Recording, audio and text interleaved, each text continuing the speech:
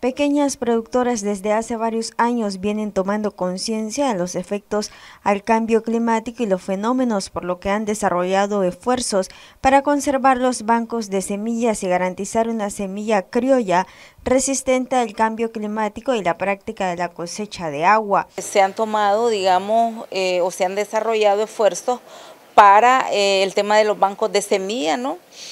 que implicará garantizar, digamos, una semilla eh, criolla resistente, ¿verdad?, a los efectos del cambio climático, pero también eh, el tema de las cosechas de agua ha sido muy importante porque eso ayuda mucho. El cuidado de los recursos hídricos ha sido otro aspecto también importante.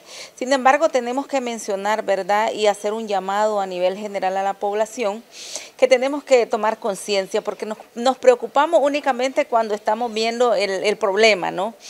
Y cada año que nos afecta el fenómeno del niño, entonces entramos en mayor preocupación. Sin embargo, después de eso se nos olvida. Eh, para el sector rural, pues hay esfuerzos que se vienen haciendo y que es básico, ¿verdad? Que sea respaldado y que sea eh, un, un, esfuerzo también eh, de país, ¿no? si bien el gobierno ha venido desarrollando algunas acciones en conjunto con la FAO, hay que seguir fortaleciendo este trabajo, ¿verdad? Porque realmente ese esfuerzo que se hace en el medio rural desde las pequeñas productoras, desde los pequeños productores, es básico fortalecerlo, ¿verdad? Aunque las instituciones también han venido fortaleciendo este esfuerzo, el MEFCA sobre todo, el INTA.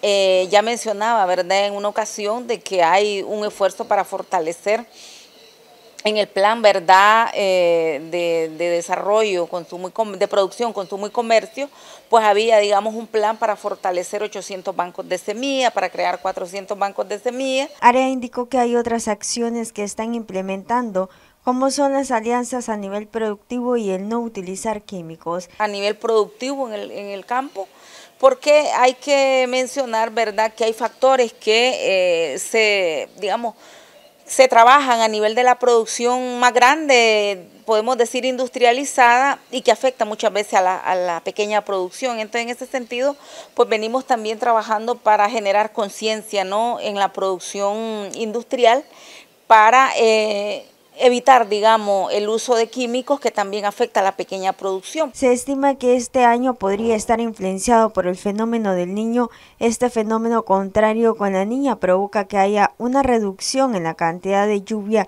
que se presenta en Centroamérica y una reducción en la cantidad de huracanes que se forman en el Océano Atlántico y Mar Caribe. Noticias 12 Darlene Telles.